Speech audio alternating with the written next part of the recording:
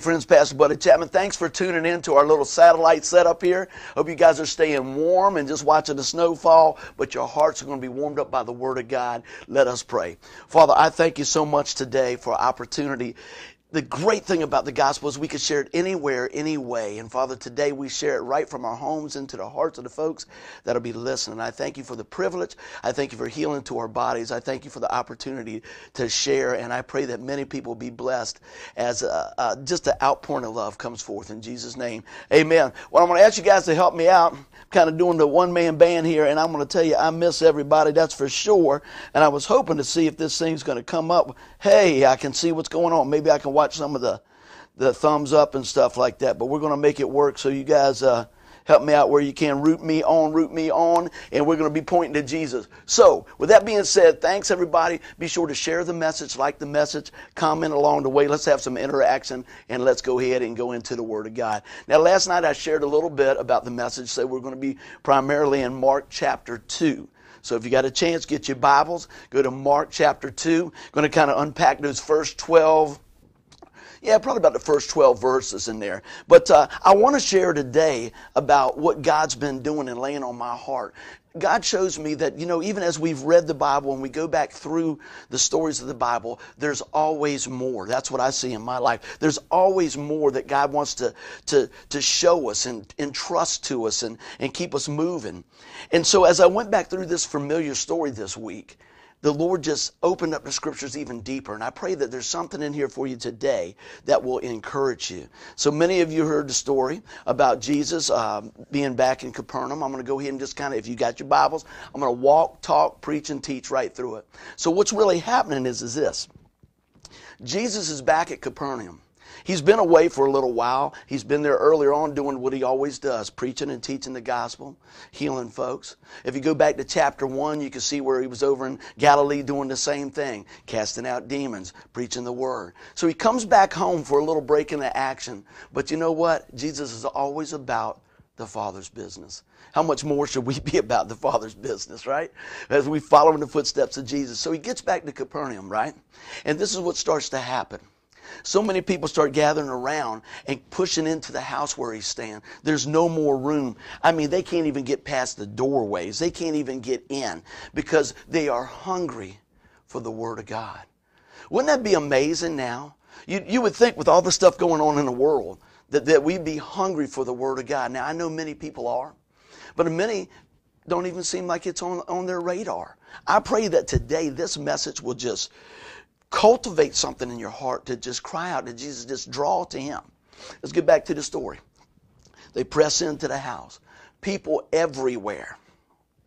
But there's a, there's a person, there's a, a, a paralyzed man that has four good friends.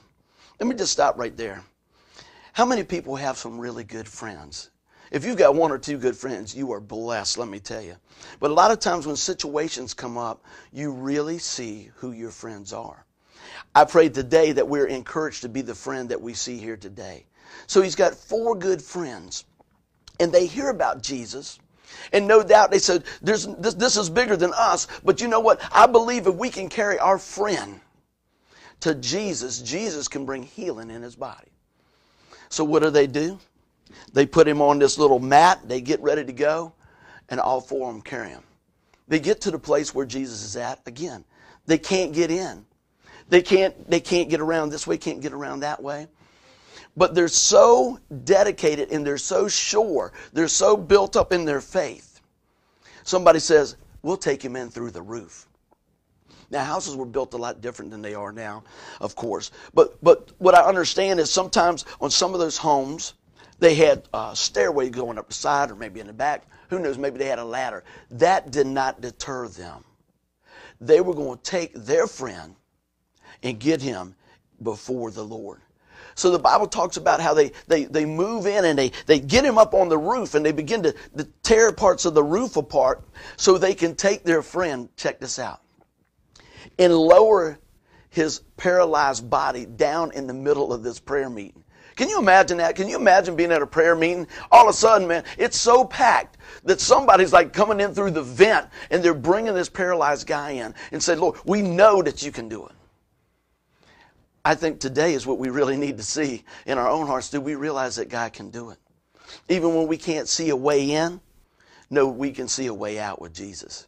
So they go ahead and they bring him in. I want you to check this out. When we get down around about verse 5, if you take a look at it, don't miss the gravity of this statement. Seeing their faith, Jesus told the paralytic, Son, your sins are forgiven. I want to let that soak in for just a minute. Son, your, friend, your sins are forgiven. And immediately, what happens? but some of the scribes were sitting there questioning in their hearts why does he speak like this? He's blaspheming. Who can forgive sin but God alone? He's getting ready to show him. He's getting ready to tell him, say, hey, let me tell you something right here. I'm getting ready to show you what the deal is. He goes on, check this out, about verse 8. It says, right away, Jesus perceived in his spirit that they were thinking like this within themselves and said to them, why are you thinking these things in your heart? Let's stop right there.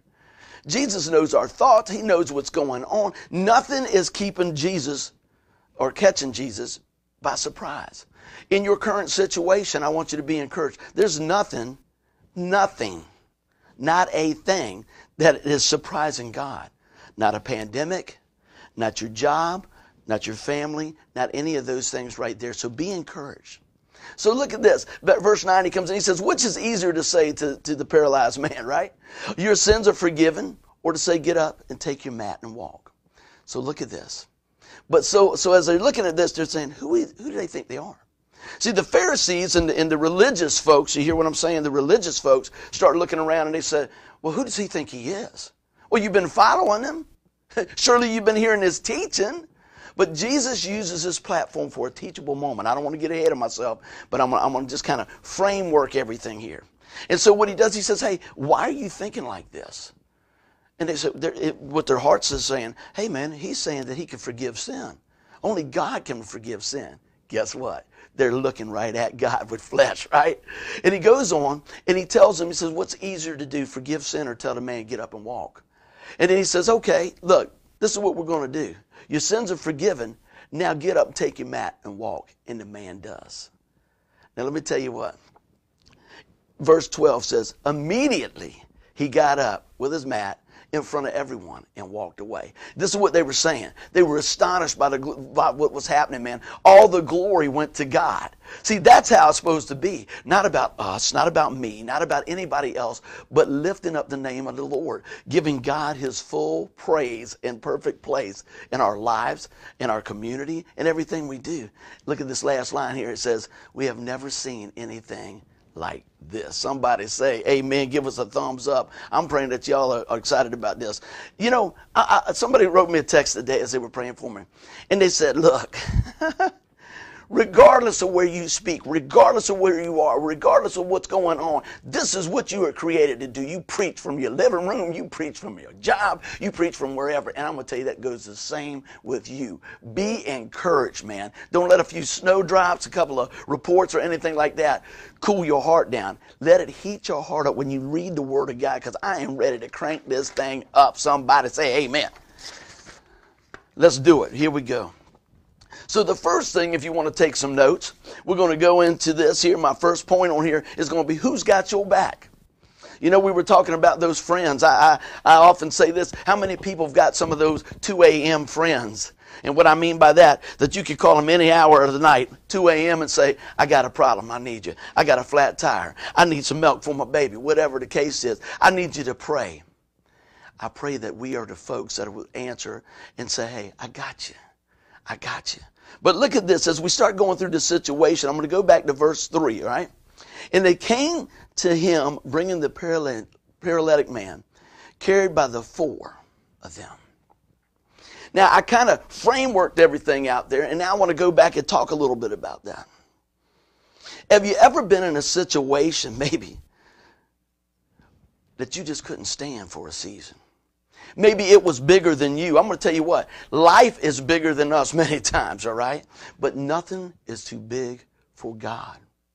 So as we go through this thing here, sometimes I know in my life it's great when you have some some really good relationships where people can stand in the gap with you.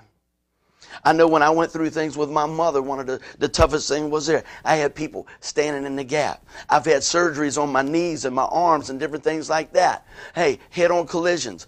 Had people stand with me when I couldn't stand. Yesterday, as I was going through and talking to some of my friends, I had a buddy of mine call me. He said, I'm just checking on you.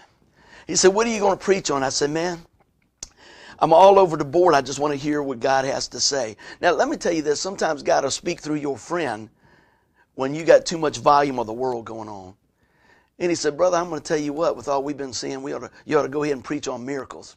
Jeff, I appreciate that. And as I start digging in this, God was showing me. See, Jeff knows something about miracles. My friend knows something about miracles because he's been through a few things. And as y'all know, as we continue to pray for his daughter Devin, you know what? We are seeing the miraculous power of God she went to sleep and woke up and could not walk. Now she's getting up and moving around through the power of the name of Jesus, and we are grateful. Let me tell you, they've got a page. I want you guys to check that out if you get a chance. It's called Stand for Devon.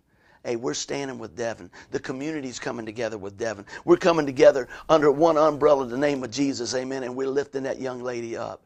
And God is doing a mighty work. Who's got your back? But let me tell you, you don't have to have something catastrophic to happen to know that God has put people in your life to have you back. Ultimately, I want y'all to hear this. Ultimately, it's about keeping our eyes on the Lord. But all through the Bible, you'll see that the, the, the believers sometimes get a little tired, they get a wore down. What about Moses when they were battling? He would hold his hands up. And every time his hands would fall, their side would start to lose.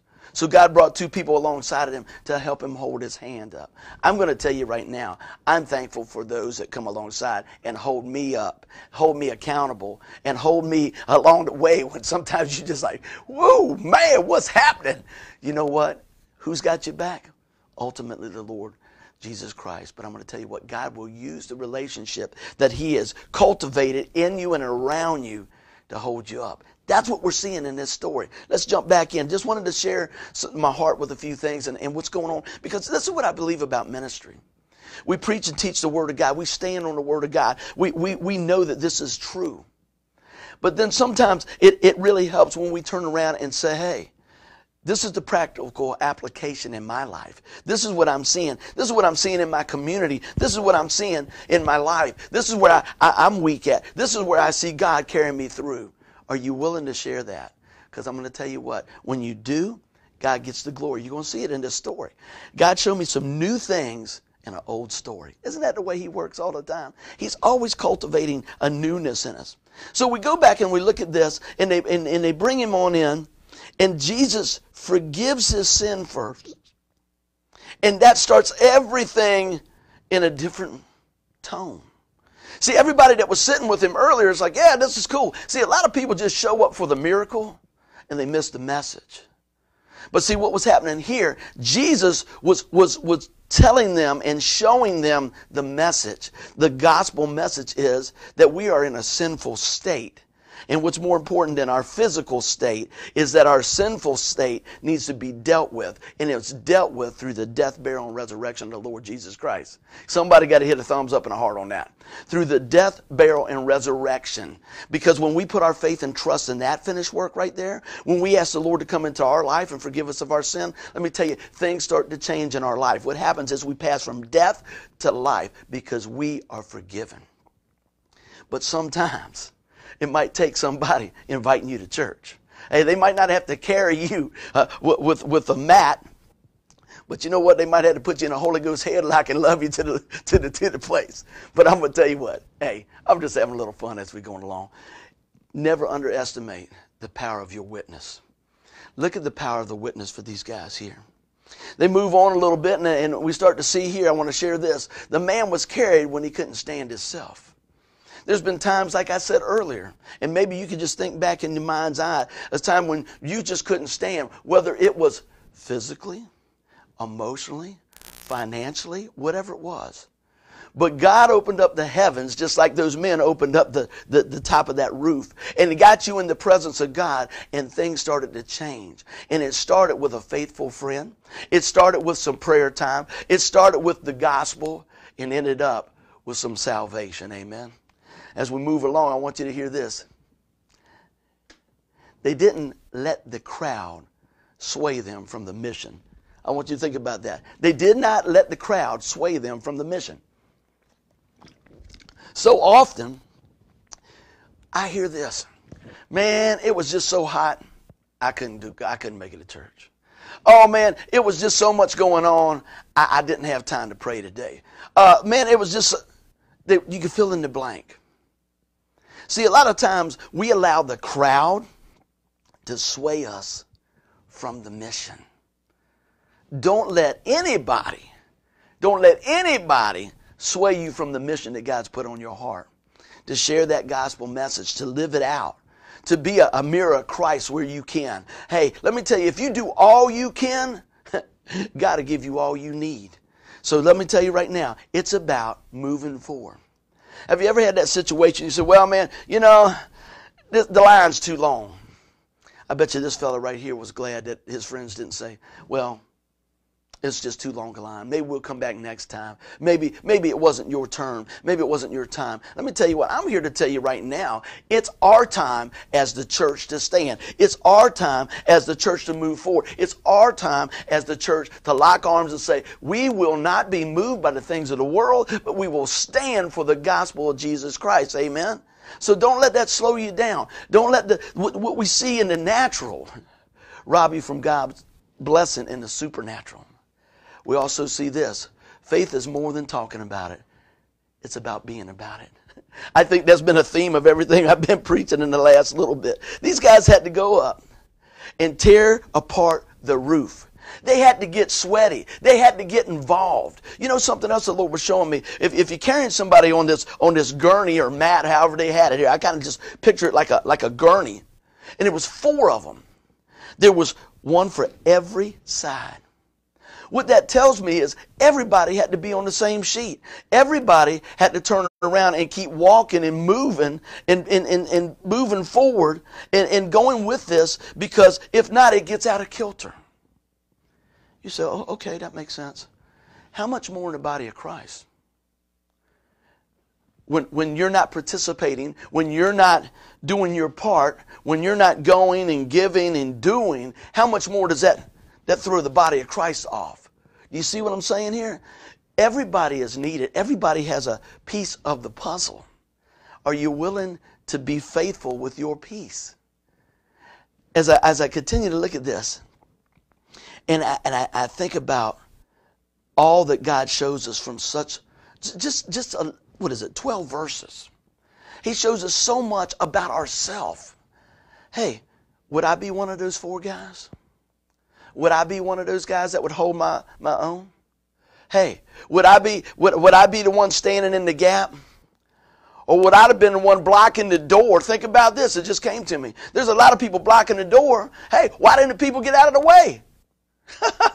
just thought about it. Hey, why wouldn't they get out of the way and say, hey, look, this man has a need. Let's bring him in. Never really thought about that. See, because sometimes people just sitting on the sidelines of life, and what happens is they're blocking your blessing. But don't be afraid. Don't turn around and go back home. If you got to crawl in the window, you got to get on top of the, the roof. If you got to stand on your knees, if you got to keep on rolling and, and, and, and getting before the Lord, let's do it. But I'm going to tell you what, it's great to have other people coming alongside you. Somebody give us a thumbs up. Let's keep on rolling.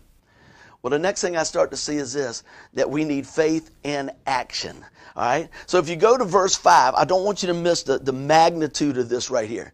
Seeing their faith, Jesus told the paralytic, Son, your sins are forgiven. I know I'm going back through this. What I like to do is kind of lay the story out and then come back and show you what the Lord has been, been kind of teaching me. So he says, Look at this. He says, He goes back and he says, Look, man, your sins are forgiven. Now, we can read through that. We've heard that many times. But what I found out this week as I studied, this was a catalyst for a heart of God to be moved. He saw the faith of the friends. It wasn't even about the, man's faith, it was about his friend's faith. See, if you're running low on faith, you just jump on over on their faith till you can get your own built up, okay? Keep on going. Now, it's a personal relationship, and it is personal when you call on the name of Jesus, but sometimes God will use people to, to walk you into His presence. Come on now. That God will walk you into His, allow those friends to walk you into His presence. Let me tell you something else. The world, I want you to hear this, the world sometimes will walk you away from His presence. Everybody says that they're your friend might not be your friend. If you're a parent, you know exactly what I'm talking about. You got to choose the circle that you hang out with really careful. I'm not saying you don't love other folks. I'm not saying you're better than them. But I'm going to tell you this you need to be very careful who you deal with and who you follow. That's why we got to keep our Bibles open, our hearts open, and our mouths speaking the Word of God. So as we go in, Jesus makes this profound statement. He says, Your sins are forgiven. I just spoke about it a minute ago. And everything kind of it's almost like the record man. I can just imagine you know you see the old movies and the jukebox playing and somebody comes in something happens and it goes see they were cool with jesus as long as he was doing what they wanted right? Isn't that the way it is with most anything? The world don't mind you talking about god but when you talk about Jesus, whew, see, that's the deal. See, there's a lot of gods that people talk about with the little g. That's not who we that's not who we represent. We talk about the one true God. We're talking about the Lord Jesus Christ. We're talking about the Father, Son, Holy Ghost. We're talking about Holy Spirit working in us and through us and in this land, all right? So let's keep on rolling with this. I got a couple of more things I want to share with you. And it says, But some of the scribes were sitting there and they start questioning things in their hearts, right? How often does that happen? They're getting ready to see this miracle take place and they start building roadblocks. Sometimes we build a roadblock right here. Well, well, well, maybe it was just fill in the blank, A, B, or C. Hey, you know what? You didn't get the job, and then all of a sudden another job came up. Oh, well, maybe, um, you know what? Because I'm so good about it. No, no, look. Give praise and give thanks where it is due. And I'm going to tell you what, right now, I'm giving praise to God for giving me an opportunity today to share this message. So we keep on rolling, and we see the naysayers. I'm clicking on down to about verse 8 now. Look at this. And right away, Jesus knew what they were thinking. Nothing again is keeping God by surprise. Nothing's taking him by surprise. I want you to look at this that, that what happened from those four men coming in there, it, it became a platform that moved the heart of God. That, that Jesus took it, made it a platform, hear me? For him to show them his authority. Check that out. If you were to turn around, right, and said, okay, hey, uh, you're healed, get up and go, right? Would they have saw the authority of him to forgive sin? See, the Lord knows the big picture. Now, I'm going to I'm to try to correlate this to what we might be going through right now.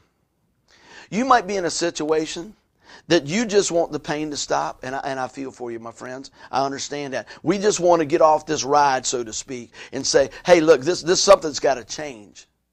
But God allows that maybe for momentarily, a few more minutes, while He's turning around and setting things into motion so people see the bigger picture of God. Could it be in our country that that's happening now? Maybe. Could it be in your current situation that's happening? Possibly. Could it be that, you know, we, we just want it our way and not really considering that God's got the bird's eye view? Hey, most of the time that's it. But I'm going to tell you what faith and action together will move the heart of God. But you are not going to hog tie God, okay? God's going to do it the way He sees fit for the best of everybody because everything's going to be coming at us through love, even though we don't understand it many times this side of heaven. But what I want to tell you is this God is moving and God is in control and God is in, on the throne, and we don't have to worry. If there's anything you can take away from this, you don't have to worry. You don't have to doubt. You just have to trust.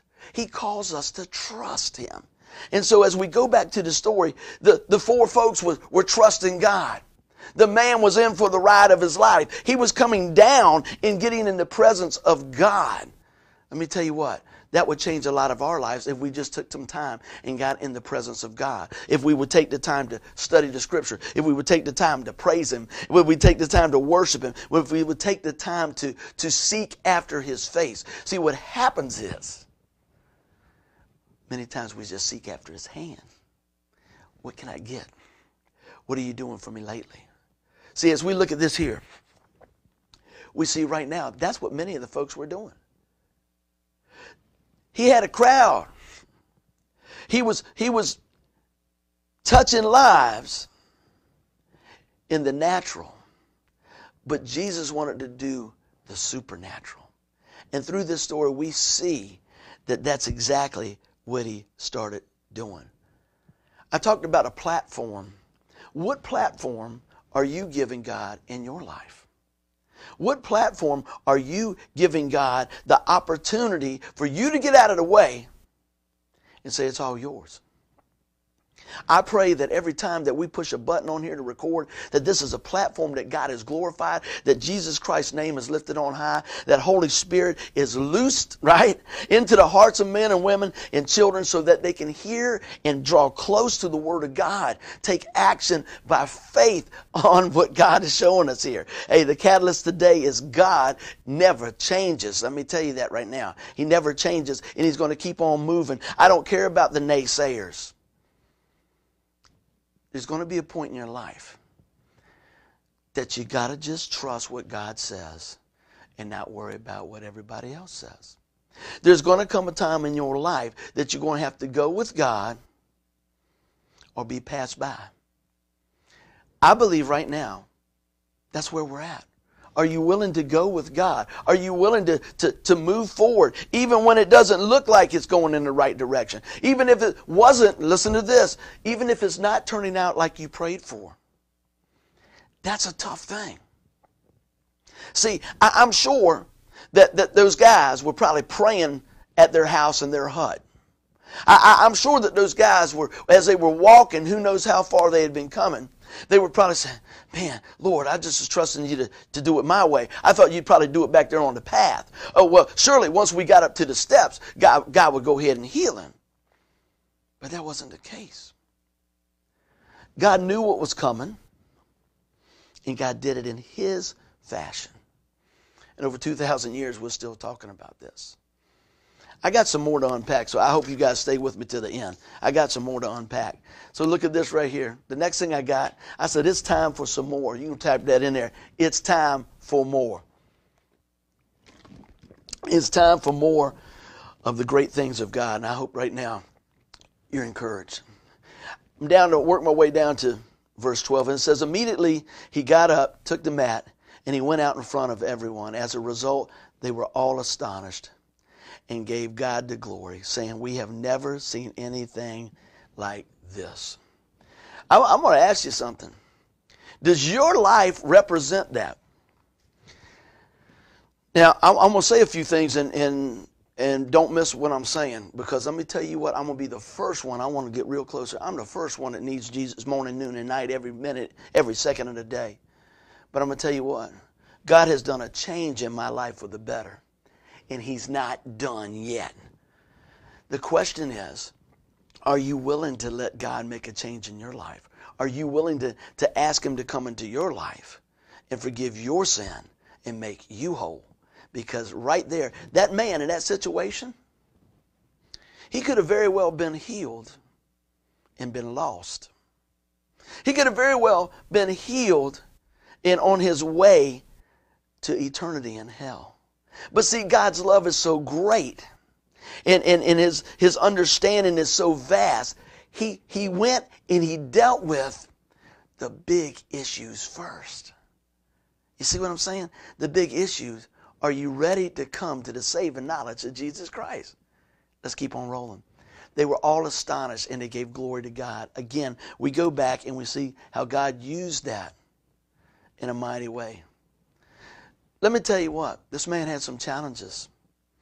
I have some challenges. You have some challenges. You know what? We have to get used to that. Life's journey is filled with challenges. But my question is, how will we face those challenges? Will you face them alone? Will you face them in your own strength? Or will you be willing to rely Listen to this. Are you willing to rely on the power of the Lord, man? I'm going to tell you what the Holy Ghost is just moving in my heart. Are you willing to, to just say, Lord, I'm going to trust you. It doesn't look good. Lord, I don't know how you're going to fix it, but I'm trusting you. Lord, we're going to the other side. Lord, I'm going to get up and I'm going to walk. I'm going to do what I can do. I'm going to do as much as I can do today to, to move forward in the way that you're pulling me and showing me and guiding me. Lord, I'm going to start out and I'm going to read your word. Lord, I'm going to start out with some prayer. I'm going to tell you what, when we start having a compassionate heart like that, let me tell you, that's when God is tilling the soil of our heart so that the seed of the gospel could be planted. And when the sun, S O N, starts reflecting on us, it's going to grow, baby. It's going to grow. So let's keep on rolling. They had great zeal and passion. Do you have zeal and passion? How do you live your life? So many people that I know live a ho hum life my ministry team sometimes tease with me, and sometimes I know it's part of the big prayer for me. They go, You live life really loud, and you live life really large. Yeah, I do. Because I got a God. I got a Jesus. I got a Holy Spirit living in me, and I can't contain what He's done in me, so I'm going to let it out of me to share it with other people. We need to live with zeal and passion regardless of where you're at.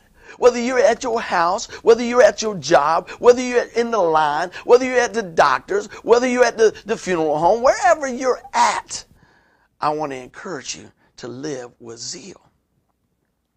And when you do, you watch how the blessings of God will follow you.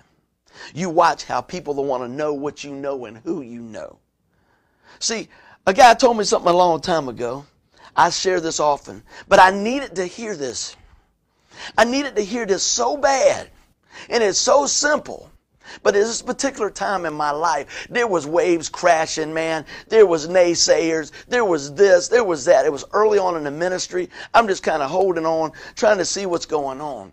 And everybody was coming at me from this side and that side and temptations to, to go back into rock and roll business and this and that and all these different things was going on. And a friend of mine told me, I said, man, what's up? What's up, man? And my buddy said, look, nobody, nobody can argue with a changed life. And Jesus changed your life. Somebody say, Amen. If God has changed your life, I'm going to tell you what, He's able and He's willing. We're going to get ready to bring it home here. I hope everybody's enjoying this message as much as I am. Because I'm going to tell you what, God is faithful all the time. He is the total package. So I want to bring a few things home here. And, and I want to share something that I, I learned just a little bit I want to tell y'all this. The, the, folks at the home base, they hear when I when I start on a message. As soon as I say Amen Sunday, I'm looking and I'm preaching and I'm pulling and looking and, and spending time with God and and and and just running it through the old meat grinder and said, Lord, I want it to be everything you want it to be. Lord, get me out of the way so that people can, can see your power and your glory. Hey, I, I want them to know about you. And so as I go through this, I, right up to the last minute, I'm, I'm, telling you about quarter quarter till ten, I was still looking and taking some notes and stuff. I was like, man, I, I, just want this to be the best it could be. I just want it to be the best it could be so people know about you, Lord. And, and, and what he reminds me is this. It will. You just trust me. Now, when I tell you that, I'm not telling you that I'm trying to do it all on my own. What I'm telling you is, I'm trying to do my very best to get out of the way so God can be exalted on the throne. So, so with that, I'm going to bring this down a little bit. I'm going to give you this is factor refresh. I just heard this story when I was just getting ready to, to, to hit the play button. And I want to share this. And, and I thought, wow, what a, a great way to put a bow on this thing. I'm telling you what, what a great way to share this story. So as we go through and we go back and we look at those four men, what can we learn from those four men? We don't know their names. They didn't make it about them. The Bible never says they jumped up and said, hey, wait a minute, we're the guys that took him in. We want a little praise. Never mentions that. Never says that they swung down first and said, hey, look, uh, look, we're here. We got a guy. We're going to bring them in, and so stand back. No, it didn't say that. what it shows us is this that it started with compassion. Write that down. You can put it in the comments compassion. It started with compassion for someone else. Do you have compassion for someone else? Do you, can ha- do you have compassion for those that are lost? Do you have compassion for those that are less fortunate? Maybe those that are going through a difficult time? Maybe those that are addicted? Maybe whatever you can fill in. My question is do you have compassion? And see, what we see is that compassion got coupled with something else. You can write this down commitment. They didn't just have compassion and sit on the sidelines and say, Oh, so sorry, Joey can't get up today. No. It moved them. That, that compassion moved to commitment. This is so cool. Then it turned into collaboration. Come on, church. That's for the church right there. It moved them in to collaboration. They had to work together, somebody. They had to work together. We have to work together. I call it spokes in the wheel for Jesus. You keep Jesus in the center, and all those spokes work together to keep the wheel turning, baby. Keep the wheel turning. That's what I'm talking about. We got compassion. We moved to commitment, collaboration. And you know what happened then? Then it built up courage. It took courage to do that, man. It took courage for those guys to go out there, to walk and go and load and pull and keep on going and not be swayed by the crowd and say, hey, we are going to get him in the presence of Jesus. Man, moms that's been praying for their kids for a long time, you keep on praying. You're going to get them in the presence of Jesus. Hey, uh, grandparents, you praying for your grandchildren, keep on pressing in. Husbands, praying for your wives. Wives, praying for, for your husbands, the whole deal. Praying for the people at your job. Hey, keep pressing in. Compassion leads to commitment. Commitment, commitment led to cooperation for the church. I want everybody to hear that for each other. And then look at this. It was courage. It was courage that took them up on that roof. Do you have the courage? Are you living out of your convictions? Will you live the unshakable faith of the Lord Jesus Christ? Let me tell you something. We have to come together to see the total package of God because we are a piece of the puzzle. We're the body of Christ, man. We're the body of Christ. You can't do it on your own. I can't do it on my own. God doesn't call us to do it on our own. He did the hard part. I'm going to close with this. I heard this story this morning, and I pray that I get it right. But I think I can get it close enough for you to, to get some, some really good nuggets out of it. A man was preaching and he told a story about way over in Africa, there was a small tribe, and, and folks over there didn't have a whole bunch, and they had folks that would, would go out and they would hunt and do things, and they, would, they had the ability, they were very small people, and, and, and they could crawl up in trees and they could do all these things uh, like that, but man, they, they really had to, to pull together to do some stuff. And there was one man in this village. He was, he was just, he was like the major hunter guy and he would go out and he decided that he was going to get an elephant. Now, no doubt, he's small and the elephant is towering over him. And he begins to, to, to devise a plan. He says, What I'll do is I'll, I'll dig this hole out and then I'll, I'll put stuff over it and, and make a trap. Y'all can visualize that. And then he climbed up a tree and he began making noises and, and luring the elephant over. And the elephant came over and the elephant fell in to the pit. Immediately he says, I caught him, I got him, I'm the great hunter. Look what I did, look what I did. And he goes out and he gets ropes and everything, and he starts to pull, and he starts to grab, and he starts to do, and he couldn't get him out of the hole. And all of a sudden he goes back, he says, I'll go back and, and, and, and get my, my, my whole town involved, the whole village. And he goes back and he tells him, he says, I've trapped this big elephant. If we've got this big elephant, it's going to be great, everything good. And all of a sudden, the women start singing, the men start sharpening knives and everything else. And they say, hey, we're going to go back and we are going to be blessed because of this is what's going on. We're going to bring that elephant out and it'll be enough to go around for our whole village. They get there and, and the men begin to work together and they take vines and they take different things and they begin to pull and they begin to pull. And, and right up here, everybody's listening to this. Everybody's saying, It's our elephant. It's our elephant for our village. It's our elephant for our village. But the one man that did the hunting says, No, it's my elephant. No, no, it's, it's, it's my elephant. And they begin to get him right on up here. And, he, and, right when they could see him, everybody pulling together saying, Yes, this is for our, our village. This is for all of us. Turns around and, and he says, No, it's mine. And they drop the elephant back down. And then he rethinks it a little bit and he goes, Okay, okay, let's, let's do it again. Let's do it again. And they go, Woo, okay, let's pull him back up. And everybody's pulling together. They have the collaboration.